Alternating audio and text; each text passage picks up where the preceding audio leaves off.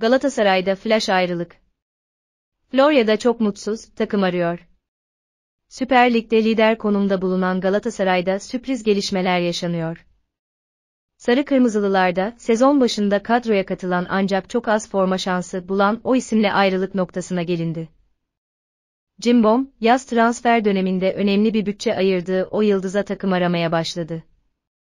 Anlık gelişmeler için lütfen abone olun. Otomatik haber sundu.